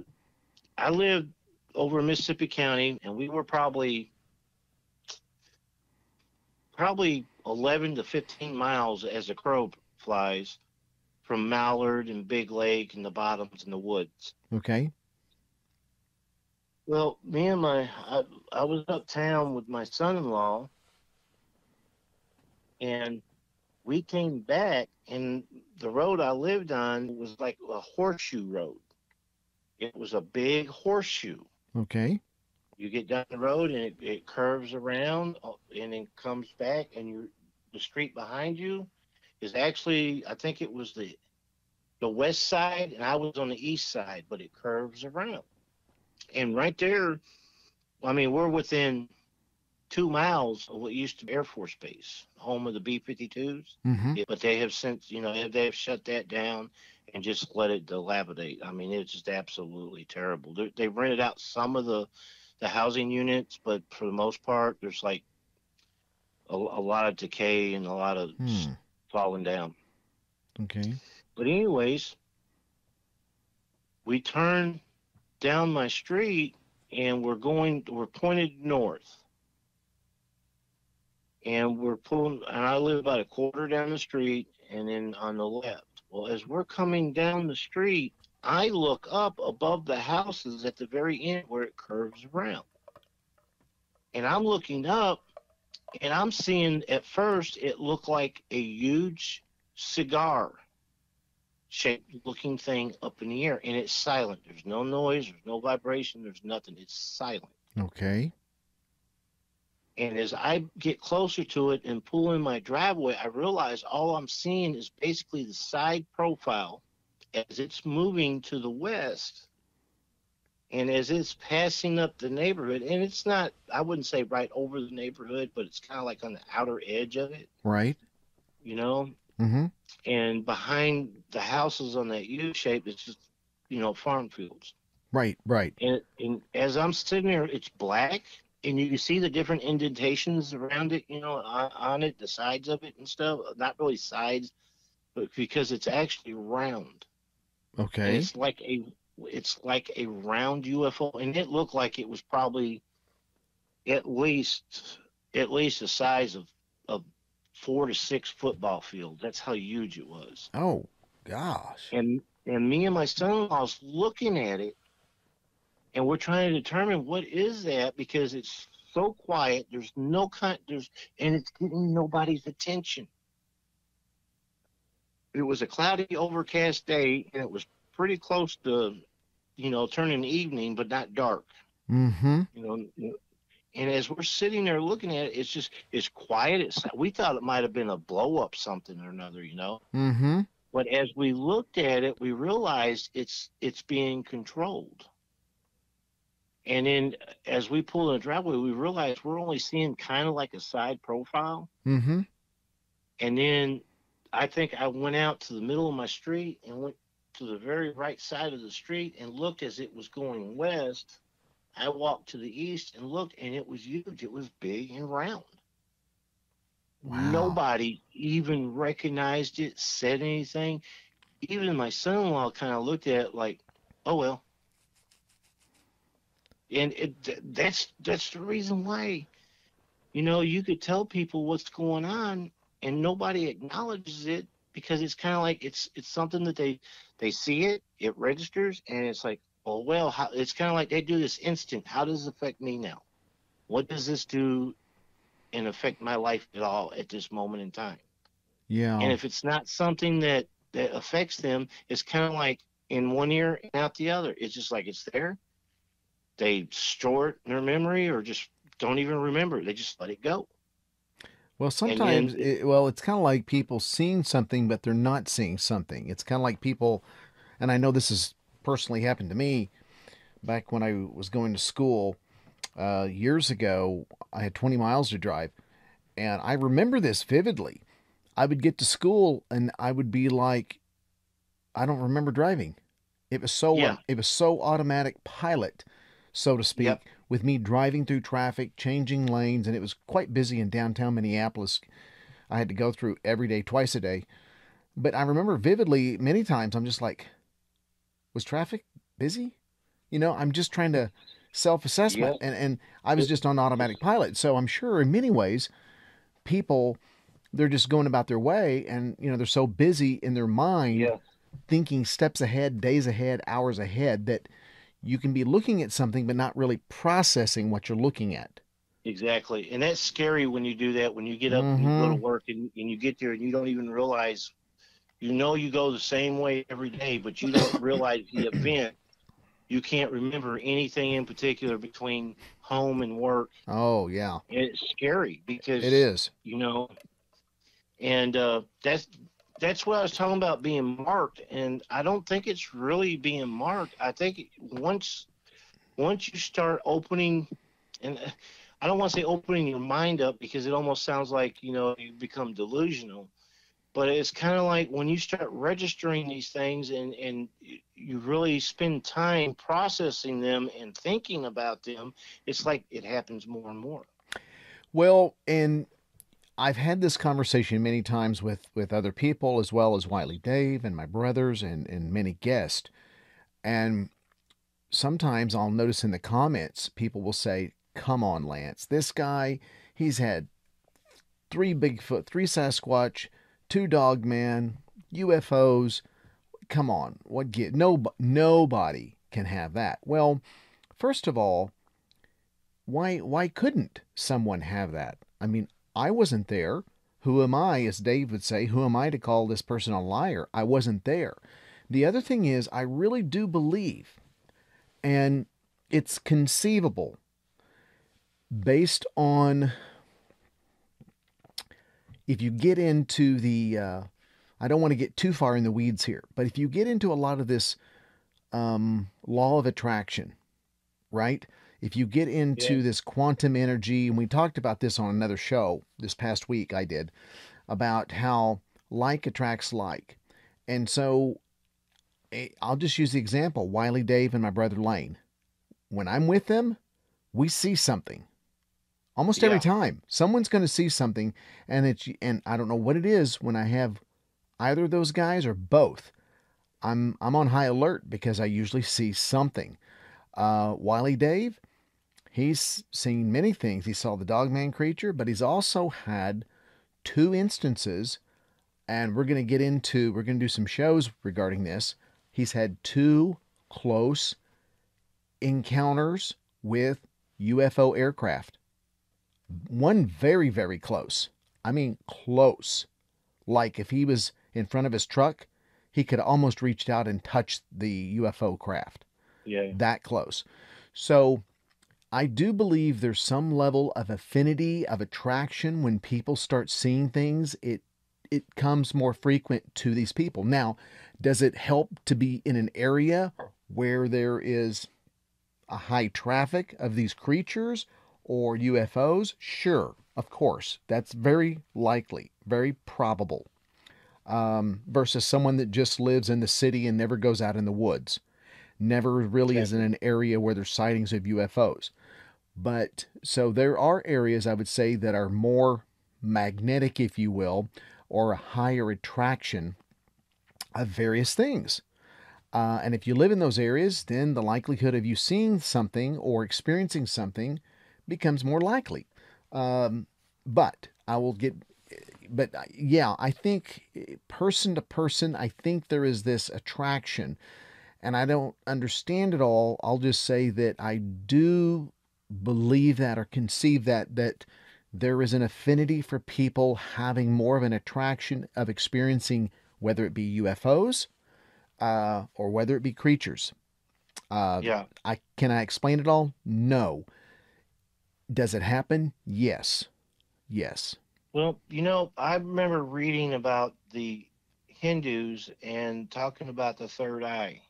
Mm-hmm. and you know that, that gland in your in your Mhm. head that is like enlightenment yes. and i i compare it to something like that because once once you do experience i know i know at a young age i i saw what i i consider to be the first time i seen anything like a ufo Hmm. and it seems like every every so often you know different things i'll see or have run-ins with bigfoot or dogman it just seems like it's something different all the time Right. and it's almost like something in your mind like a like a combination lock has has has been solved in your mind and you're actually you're experiencing things and witnessing things that other people are more or less subconsciously just ignoring and so you're you're letting these things get your attention at least mentally it's where you take note of it Yeah. you know and and then it's like where people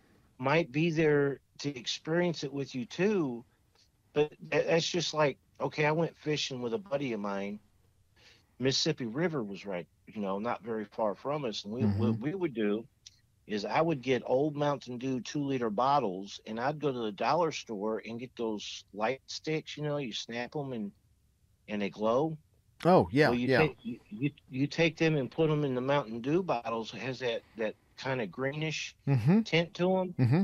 and you put them out there. You know, you jug with them, and ain't nothing like you know if you, if you've never done it, you sit you're sitting there watching. You know, you put you put your jugs out there, and all of a sudden, you know, one of those the, that they're glowing Mhm. almost like a fluorescent green, and all of a sudden you see it just swimming across the ditch there, Mm-hmm. know, Yeah. or the back. I never did do that, but that sounds great. so we're sitting there and what we did is we took the boat and we we put probably about 20 25 jugs out and then we went back to the bank and we pole fished waiting on those jugs to start moving mm. and we had binoculars to watch the jugs Okay. you know and so i we're sitting on the the west side of the, of the mississippi there looking east towards memphis you know Mm-hmm. Tennessee and Memphis. Mhm. And I I thought, well, I'll just take the binoculars and just look around. When I did, I took the binoculars and, and I saw, and the only thing that I can compare it to is uh, Linda Moulton Howe back years ago had some type of show, and she showed pictures of what looked like drone spacecraft, but you couldn't see them with the naked eye. You had to have, they were like almost camouflaged or, or Hmm. you know, it's like you couldn't see. I forgot what what they said they used to see them. Maybe but infrared. Maybe infrared. something like that. Mm-hmm. But it it looks something like one of those drones, but it was huge. You know, like Oh, a, yeah. like a spaceship.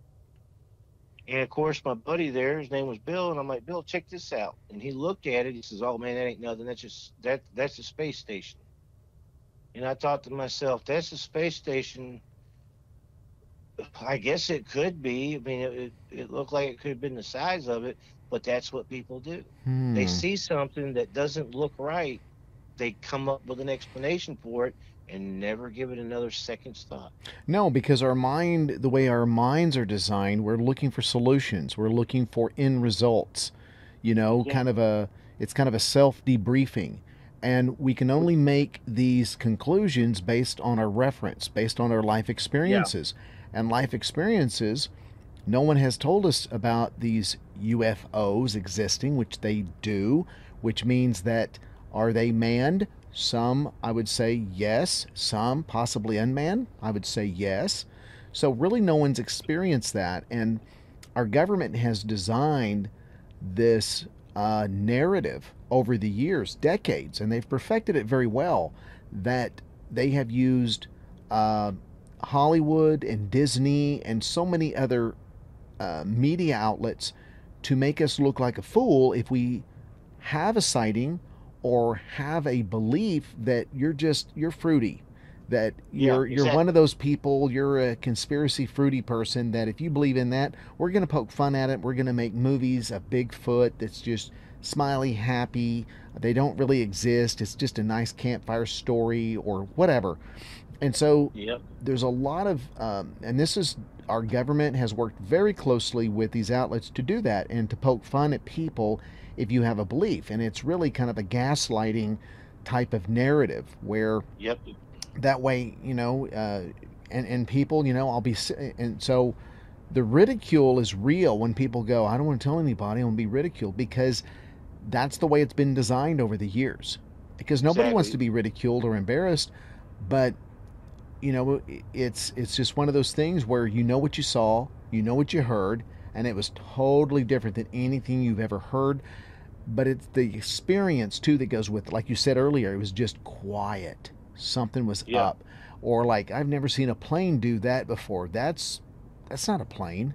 I don't even hear any engine. That's weird. Exactly. You know, and so that's kind of what Wiley Dave was saying. That he goes, and the thing with Wiley Dave is that he's extremely experienced at aircraft, at mechanics. He's worked on them his whole life. He's worked on helicopters and jets. He can tell you by the sound of something, you look up in the sky and he can tell you what it is. He can say, yeah, yep. that's this kind of jet. Uh, that's that kind of helicopter. Listen to the sound. You know, well, to me, helicopter's a helicopter. Um, but he can tell you. So when he saw this UFO aircraft, he said, it's nothing like I've ever seen. It's yep. the, the propulsion system is nothing like we have. It's it's anti gravity. So, but anyway, when you come across something like that, you just know what it's not. Exactly. That's that's the same thing as Bigfoot. Mm-hmm. You know, and and that's one of the big things that that really aggravate me. You've got all these people that call themselves researchers, and for the most part, I would imagine I'm not I'm not downing or you know disrespecting any of them. Yeah. You know, but they're doing the same thing. They're, it's like okay, David Paulides. How many samples of DNA did did him and what Melba Ketchum, Ketchum, you know, analyze and substantiate that there's DNA evidence. There's footprints. Mm-hmm. Mm-hmm.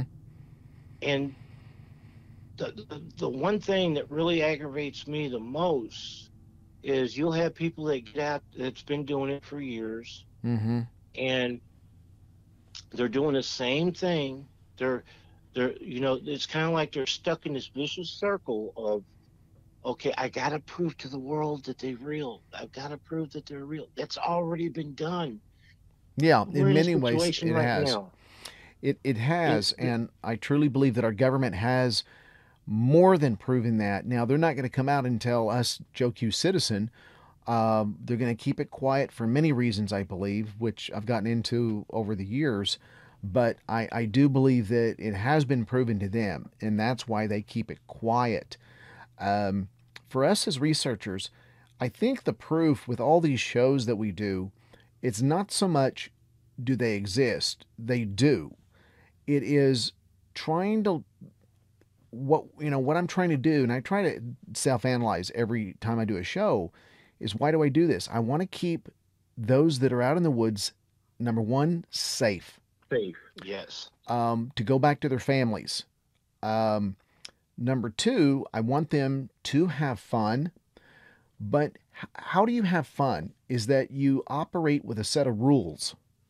Exactly. Uh, you operate with a set of principles and rules and safety measures and contingency plans. That's how it's fun. And you don't you don't deviate from that. And whether it's two people or four people or I don't much care for it, although I've been by myself many times, is is you know solo. But the contingency plans and operation are different solo versus when you're with two, three, four, or six people. Um, so it's one of those things where I think to have fun, to enjoy yourself, and to be safe and get back home, you need to really think things through. Now, unfortunately, the David Paulides, you know, you brought you brought that up. I've read his books that are extremely fascinating. The thing that's really remarkable about some of David Paulides' books is that um, some, not all, most are kids and some are seniors uh, that have come up missing. Now, there are a majority of kids that are found alive. Yes. Many miles away under very rugged terrain. So it kind of makes you scratch your head like, how did that even, no... how was that even possible? So the thing of it is, though, you do come across some stories of very savvy, avid uh, hunters that are very familiar with an area. I would call them survivalist. They know how to live out in the woods, be gone all night, but yet they just disappear and they have yep. families and you know what happens um so you i think about that sometimes so even the most savvy hunter most experienced person in the woods can still have a problem if you're caught well if you're caught unattended you know, just kind of well, enjoying the woods, but you got to be on you got to be on alert. And who knows? All it takes, all it takes is one mistake.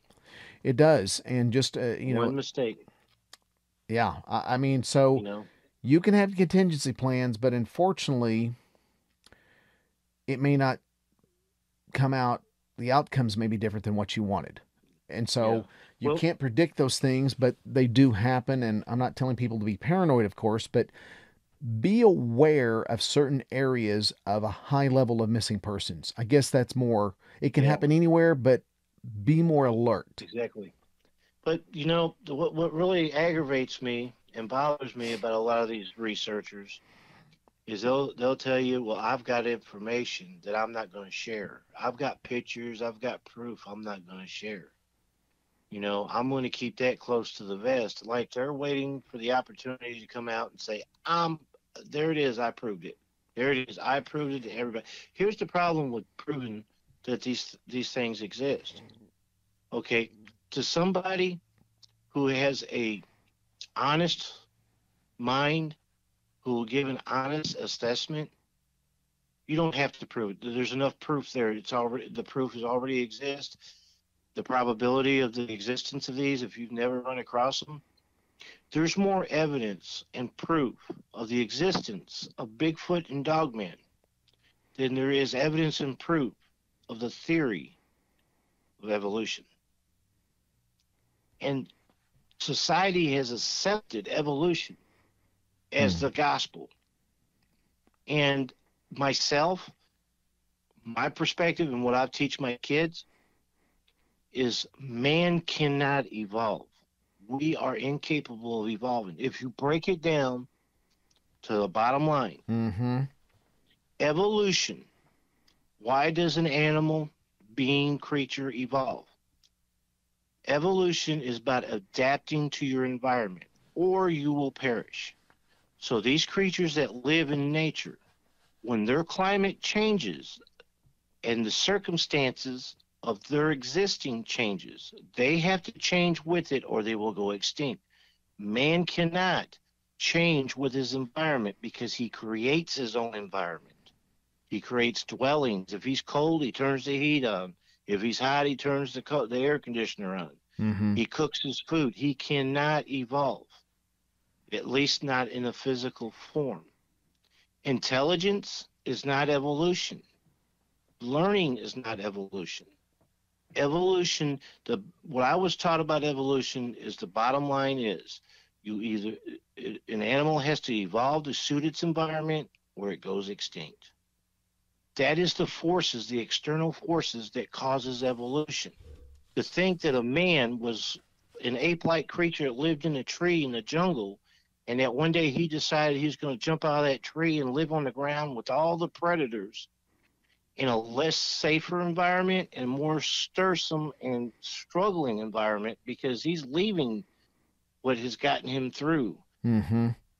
all the millennium and all of a sudden he there's nothing that's going to force an ape-like creature to evolve into a man it's not like the big cities and, and the civilization was already there for them to say hmm i'm going to leave the country and go live in the city mm-hmm that can't happen. That there was no cities.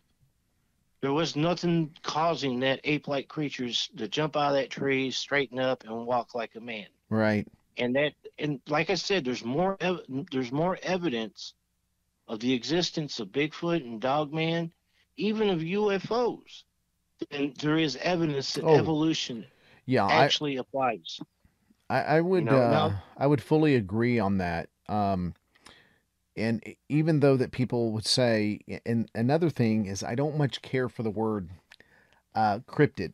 The prefix comes from cryptozoology or cryptozoologist, exactly, yes, which is a more or less a the definition being a myth of something some living being or creature that exists that is not able to be measured against the scientific method um, or science based. But really, that's a very poor word to describe these beings because you're assuming you you put it in a category of first of all mythologic, or you put it in a category like a deer or an elk or a bear. These are really oranges and apples, so to speak, in the sense that you're dealing you're dealing with a being that is highly adaptive, highly intelligent, supernatural speed, strength, and size, and it's it's one of those things where you can can you have something exist that not a lot of eyes have been laid upon it? Yes, of course. We're always finding rare animals in jungles, uh, rare fish that uh, are in the oceans or in these deep uh, gorges. Uh, so, why couldn't Bigfoot or Sasquatch or some type of a being exist that we've never been? Um, it's it's not prevalent. There's not many of them. There's a lot of them, but compared to humans, there's not. So the probability is there. We don't know everything. We've not been over every piece of land. Um, there's still many places that are unexplored. So I'm kind of with I'm definitely with you on that. Um, there's just a lot we we know, we've known, but you know, it's one thing you just got to experience it. You got to go out into the woods. You got to spend some time. And some people have more experiences than others for sure. For sure. Yeah. Um, again, uh, my brother Lane, Wiley Dave, uh, and we've experienced quite a bit ourselves just going out in remote deer camps and experiencing, I mean, versus just uh, uh small groups or very, uh, very small groups, two, three guys versus if you go with a group of 30 you know? So um, yeah. we're about getting close here to the end of my battery life here so yeah. Um, well I've, I've still got a couple more and i've even got a uh, well, recording that i was wanting to run by you. Well i tell you what that's that's perfect. Why don't we do this? Why don't we uh, have you back on and we'll do a part two okay that's fine how's that but let, let me tell you about one instance though. You know where Cherokee Nation is at in Oklahoma there? Yes. You know, up there by Springdale? Yes. Uh West Siloam Springs there? Oh yeah, yeah, yeah, and I'm very familiar well, with that. Okay, there's there's a place called Cherokee Casino there. Yep, I know exactly where it's well, at. My father, when he was still alive, uh, him and my mother loved to go there. Okay and so I would get basically initiated to drive them there.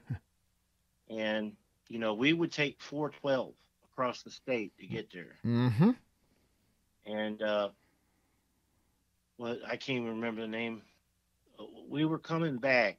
We we used to go, and of course, we would get you know play, gamble and play there for four or five hours, and then drive home. And I, you know, I end up driving home. We ended up driving home, you know, wee hours of the morning. Right. You know, we're between two two o'clock in the morning and daylight. Okay. Well, my mother's in the back seat. My father's in the front seat. He's sleeping, snoozing, snoring pretty good and everything.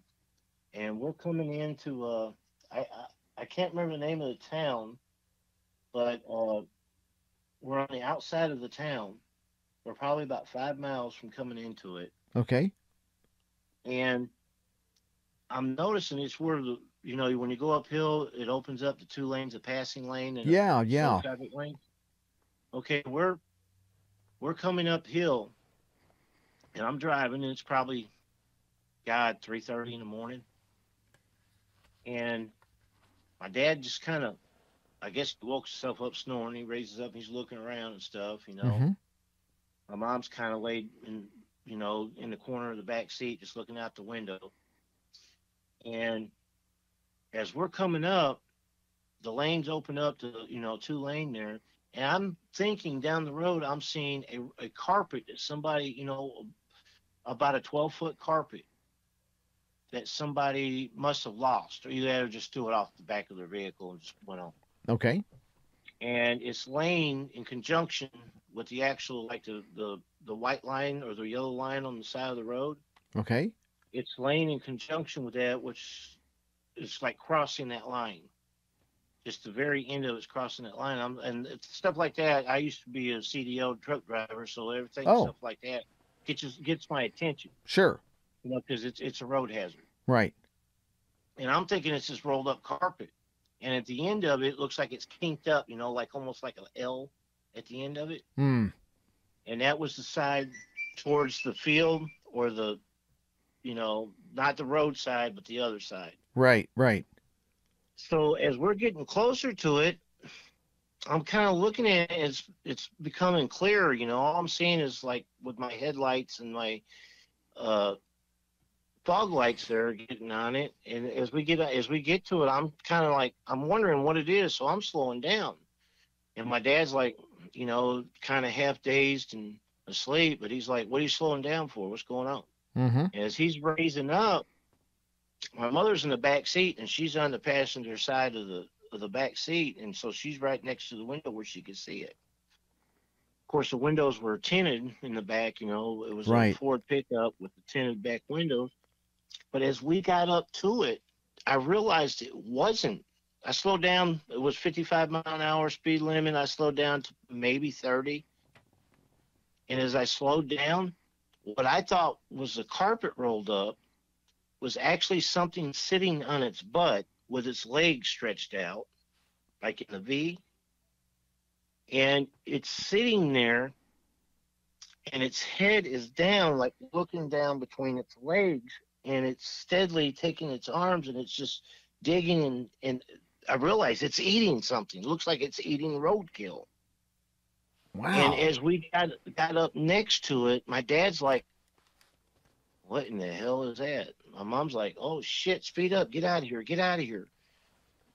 And what I gathered from it now, it was just, you know, wasn't very long looking at it. 'cause like I said, all I slowed down to was about thirty mile an hour. right. And as as we're sitting there going past it, it's got long stringy hair, like down past its shoulders, and it's bent over and it it's eating something. And as we got almost right next to it, it looked up, and all that it had was like black silhouetted eyes. And it just just kind of looked up and saw us going by there, and it didn't flinch. It just sat there, and I noticed too, where I was thinking that was a, like a, a carpet rolled up. Yeah. It its feet was so big, it looked its one leg there looked like a carpet. You know, it, it looked like the the a, a, regular you know room carpet rolled up. That's how big its leg was Wow. and its its leg was stretched out. My dad was like, "What in the hell is that?" Yeah. And my mom's like, "Speed up, you know, let's get out of here." And looking at it, and I, I got the best glimpse of it because my fog lights kind of shoot out to the sides. Yeah. a, a wider perspective. I just saw it for an instance there. The only thing that I could compare it to to give you any kind of real description because of skin Right. you know, you was talking about the skin looking leathery and, mm-hmm. and kind of. Uh, the only th- there's there's an old movie that come out as a kid. I was fascinated with it. It was called The Time Machine, Mm-hmm. and I think it was made in the 50s or 60s. Poss- possibly. And the creatures that were what they were is they were people that ended up going underground to survive. Mm. and they ended up staying there for decades and Mhm. they adapted evolved as the movie would portray Right. it Right. Right. to these hideous humanoid looking creatures with the leathery skin and all that's the only thing that i've seen in my life that compared to, to that Hmm. and it was weird because its arms looked they weren't real big but they were muscular looking you know real cut and i couldn't tell if it was wearing anything or not but i know it had like long stringy hair from its head and then like stringy hair all over its body is what it looked like It sounds something like uh, there's a friend of mine. Um, I was going to go on his property until I hurt my back a few weeks back. Um, and he, it's in Oklahoma, and he went. Uh, he's got some property his mother has, and him and a, a researcher came out from a well-known organization. This is an older gentleman, and they went down on this river bottom. And now this property is very rarely trafficked by any humans. Uh, it's been in the family for a long time, I suspect. But he went down there at night because that's when things move around the most is at night. And he had something they heard jump out of a tree and land on this bank of this creek.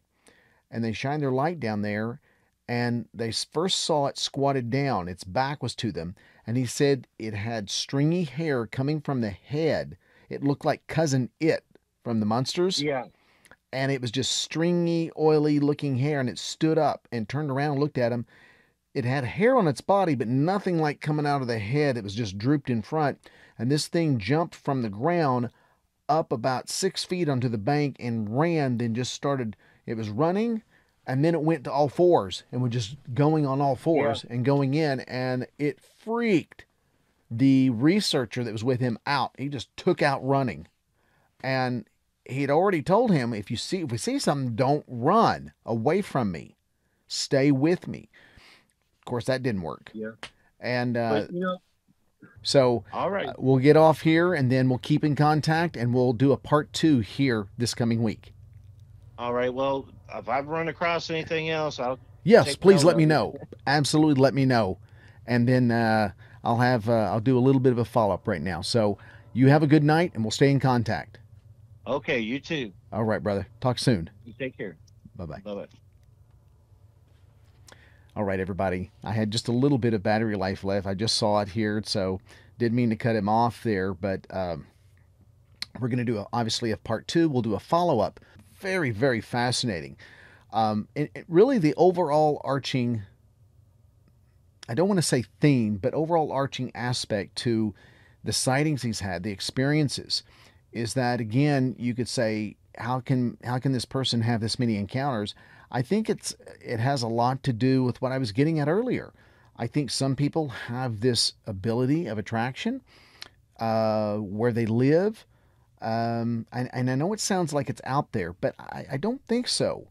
Um, it just depends on a couple factors, and I can't put my finger on it, but I know it happens to a lot of people.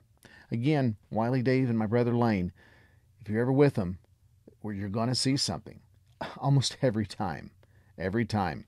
If you have some comments on what you heard tonight, let me know. Um, I'm curious to know what he saw at the very end. I'm going to follow. So next time we talk, I'm going to get back into what he saw on that trip when he had his mom and dad and get into that because that reminds me of some other encounter stories that are kind of somewhat uh, similar uh, in, in, appearance, aside from the one that I t- spoke of just now regarding the researcher and this buddy of mine on his mom's place. In the meantime, guys, I want you to be safe out there. I want you to take note of all of these shows. And if you yourself have had an experience, whether it be UFO related, ghost related, or cryptid related, please give me a call. I do want to hear. I am documenting this. Call us at the toll free number 1 866 306 8085. Until then, this is Lance with Monster 911. Take care.